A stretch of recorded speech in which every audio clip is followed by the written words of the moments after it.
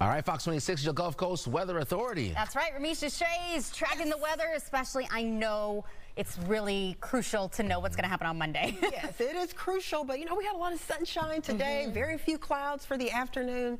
That would have been nice for Monday, but right. you know, Mother Nature doesn't cooperate all the time. Yes. We may have a few issues coming up on Monday, but hopefully things will change before we get there. But at least things are quiet tonight, and we will have a nice stretch of quiet weather for the next couple of days. But it hasn't been that way across other parts of the country. We've already had eight reports of tornadoes today up across parts of Illinois, also Tennessee, Kentucky, and Ohio. You can see some of those tornado reports there.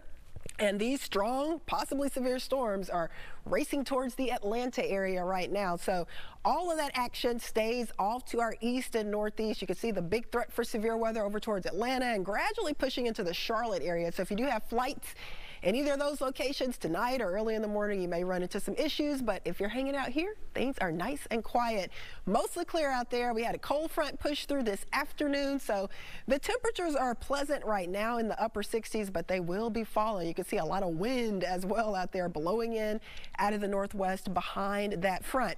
Here's weather where you live if you're going to be out and about tonight in Galveston, 71 right now, and it is breezy. Northwest wind around 24 miles per hour. Tomball, a little cooler for you.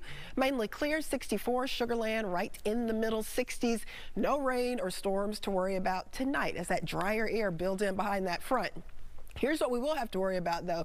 It's windy out there. We've got gusts right around 32 miles per hour for the Houston area. So it stays windy tonight, a little breezy at times tomorrow, but high pressure gradually builds in behind the system and all of the storminess will stay well to our east. So there's the area of high pressure that will keep us nice and bright and dry for the next three days or so before the pattern starts to flip on us once again for the weekend. But all across Harris County for tonight, it's going to be a little on the cool side, especially for April. 50 tonight in Houston, low 50s for eastern Harris County over towards Pasadena, La Porte, and Clear Lake, and middle 40s. Definitely jacket weather early in the morning back west towards Cypress and Katy. How about the next three days? We are looking pretty close to perfect for Wednesday, Thursday, and Friday. 76 with a lot of sun tomorrow, 81 for Thursday afternoon with a lot of sunshine, and perfect golf, beach, and park weather for Friday as well as those temperatures climb to the low 80s by the afternoon. So we've got four days in a row where you can get outside, take advantage of that nice weather and enjoy. But look what happens just as we get into the second half of the weekend. Rain chances jump all the way up to 60%.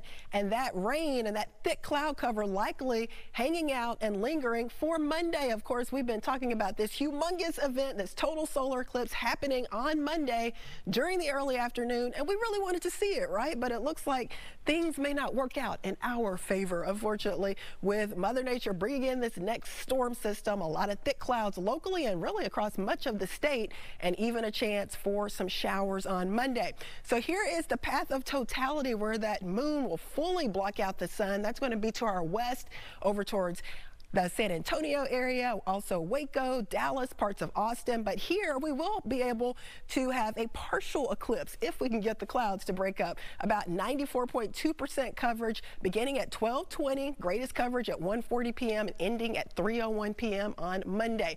Of course, if we miss out, you can check us out on our smart TV app, Fox Local. We will have coverage from Mexico to Maine on there, and we'll have meteorologists, reporters stationed all across that path of totality. So so we may miss out locally, but guess what? You don't miss anything when you have Fox Local downloaded on your smart TV. Come on, Remeisha. Okay. Look at that. I'm ready to go download it again. Right, I already yeah. have it on my TV. You want to undownload it or re-download it again? And just, Come on, I'm the Fox He's going to delete the app. Delete the app. undownload. you don't undownload anything. You just delete. Anyway, well, Caroline, what's coming up on the news at 10?